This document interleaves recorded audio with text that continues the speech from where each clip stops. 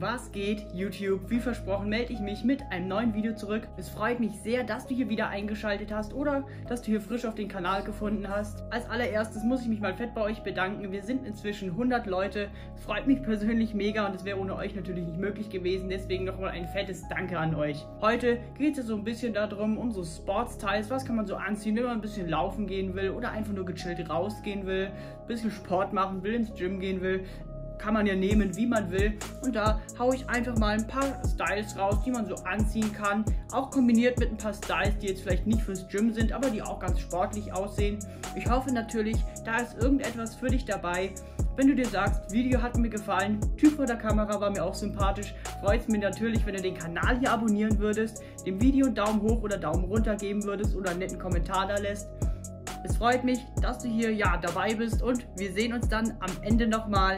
Ciao. Das erste Accessoire, was für mich immer so einen sportlichen Look verkörpert, ist die Freizeitjacke, wie du sie hier zum Beispiel in Gelb siehst. Ist ein ganz cooles Accessoire, da du es mit sehr viel kombinieren kannst, egal in welcher Farbe.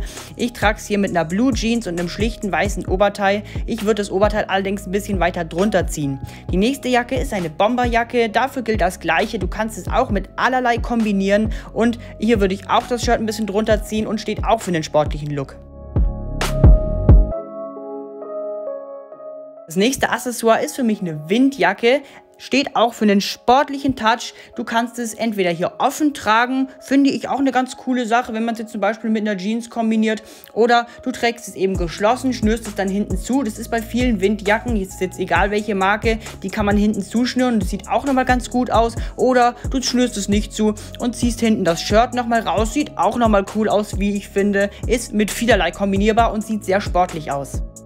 Beim nächsten Accessoire geht es mir weder um den Verein noch um die Marke, sondern um den Kragen des Trikots. Es gibt ja einige Trikots, die so einen Kragen eben mit sich bringen. Das kann man cool mit einer Kette kombinieren und allgemein geht es mir auch hier beim weißen Trikot drum, dass ich es ganz cool finde, auch mal einfach in der Freizeit ein Trikot mit einer Jeans zu kombinieren, egal in welcher Farbe. Beim nächsten Accessoire geht es mir um die Jogginghose. Du siehst, ich ziehe hier eine einheitliche Jogginghose auch so ein bisschen hoch, dass ich so ein bisschen Abstand zwischen Schuh und Hose habe und dann trage ich die Jogginghose entweder so ein bisschen baggy-mäßig oder ich ziehe sie wirklich eng hoch. Sieht beides gut aus.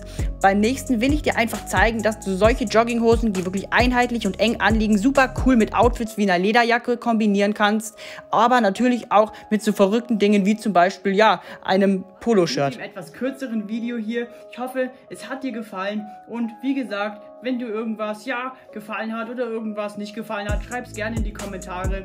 Wir sehen uns dann wieder beim nächsten Video am Samstag. Ich hoffe, bis dahin bleibst du gesund. Wenn du dir sagst, ja, ich stehe auch auf Gaming-Content, kannst du gerne mal bei meinem Twitch-Channel vorbeischauen. Hier bin ich, entweder heute oder morgen live. Wenn du aber nicht so auf Gaming-Content stehst, dann lass es einfach bleiben und bleib auf dem Kanal. Ich hoffe, du bleibst bis Samstag gesund. Da sehen wir uns wieder. Ciao.